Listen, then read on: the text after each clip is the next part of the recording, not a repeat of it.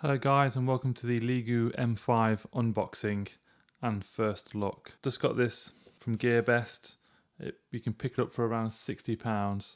Another cheap budget phone like the Blue Air and the Umi London which I've had recently. So it comes in a um, pretty basic box, quite flimsy. Let's just open it up. Oh. Get the phone directly on top see what else is in the box very quickly. So you have your earphones, micro USB charging cable, and your charger. Quite a chunky charger. And you get a manual. And they've definitely scrimped and saved money on the boxing and the packaging, but that's no big issue. Let's actually look at the phone. And a little protective cover on the front with some specs. Now it's a 2.5D bulletproof glass apparently. Uh, I haven't got a gun or uh, any bullets to test, so I won't be taking that test today. It's a 720p Super HD screen, 5 inches, ultra fast fingerprint. Um, fingerprint interesting on a £60 phone. See if that works. But it's a great feature to have on a, such a budget phone. 2 gigs of RAM, 16 gigabytes of memory. So you've got 8 megapixel camera on the rear and 5 megapixel on the front. And it also says it has a bass sound system. Flip over to the back, your little speaker at the bottom, the fingerprint sensor, the rear camera, and flashlight. And a nice little Leagoo logo on there. Let's take you around the, the side. Power button and volume button there. Headphone jack just there. And nothing on that side. Micro USB port at the bottom with your microphone uh, at the bottom there you've got your capacitive buttons as well. Home, back and menu. And I believe you have your, your front facing camera at the top and proximity sensor. I think that also possibly an LED notification light. Um, the phone is quite thick. I think it's about 8.7 mil thick.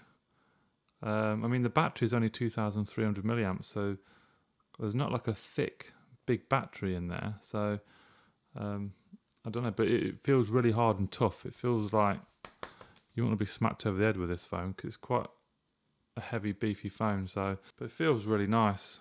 Good size as well in, in my hand. Fits nice in my hand. Quite a smooth, rounded back as well. Yeah, I like it. So let's peel the front film off.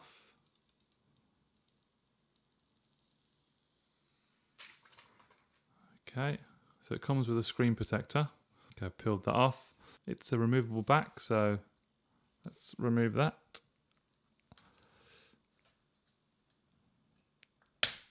Bloody hell.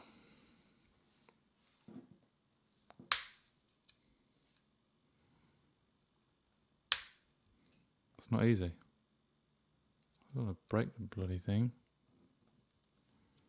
Jeez.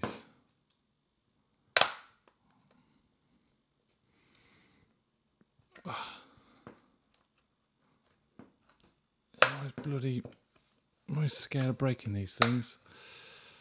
Right, that's tight on. That's off. Here we have the back. We have the battery in there, which is covered with a little sticky tape. Let's get the battery out. There we go. Stylish phone. Leagoo. So, made that 2,300 milliamp battery. Not expecting long usage out of that. So here we have your micro SD slot in there and as normal dual SIM there, micro SIM. Let's pop my SIM card in there. Okay, that's in. Let's remove this tape from the battery.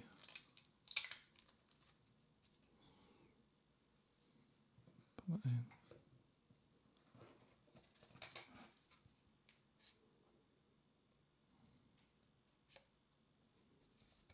It's a snug fit for the battery.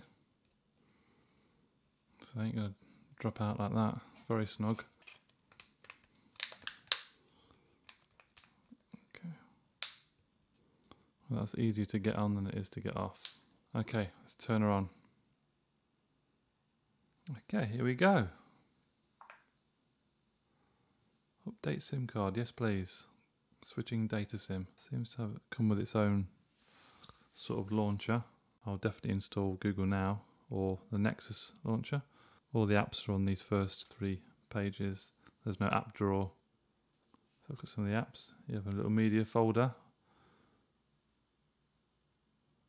Google folder, Maps, Gmail, YouTube. So it comes with that pre-installed. Yeah, the normal security center. Let's quickly try this fingerprint. Add fingerprint, let's have a look. Move your finger slightly, I can feel it vibrating ever so slightly. So it's taken a lot of readings from this one finger. There we go, fingerprint added. Okay, let's add another one. So the tip of your finger, the edge of your finger. I think the more variations like that, the more accurate I think you're going to get the scanner. Okay, let's add my left hand as well. Let's add another one on the right. Bit of a slow process. And let's add one more on the left. Okay, so we have five fingerprints. Let's go back.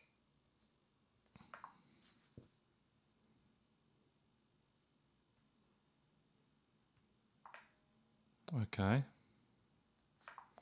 Let's try my left hand.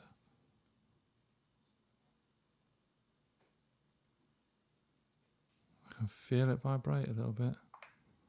That took about three, four attempts. Oh, that was immediately. Try again.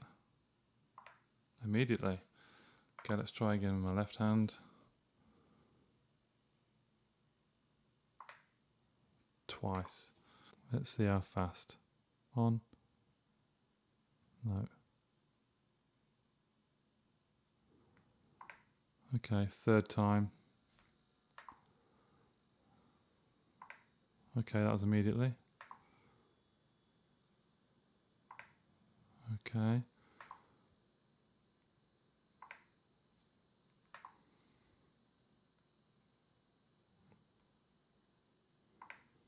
Okay, it's not too bad actually.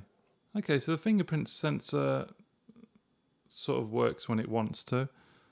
So it's not 100% accurate. So let's have a look at the settings. And it should be rocking Android 6, which is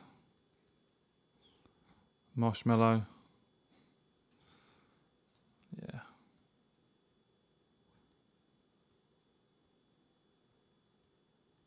Oh. Let's try the camera very quickly. I believe you drag up from the bottom, you get your settings, normal shooting mode or capture mode. Let's see what you get in the settings here. So these settings are a little bit different. Resolution. So at the top there you can just see rear camera says 8 megapixel at a ratio of 4.3. Now, oh, you only have a ratio of 4.3. I thought it would have done a uh, 16 by 9 ratio, but it doesn't seem to be the case. So there seems to be no point in having. Why would you have a 5 megapixel 4.3 when you can have it in 8? Let's have a look at the front camera. Okay, look, front camera, you get the option of 16.9, but you only get a 2 megapixel. That's probably not going to be great. HD rear camera, 1080p, 720 and 480.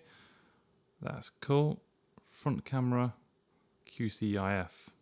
Cool, let's test the camera out then. Get a little Steve here. So this is 8 megapixel. Okay, so that was the camera test. It definitely feels like a well-built phone. It's really solid, so I wouldn't worry about dropping it unless you're dropping it from 100 feet or something like that. It does feel really nice. So I'm going to go away and give it a good old test now.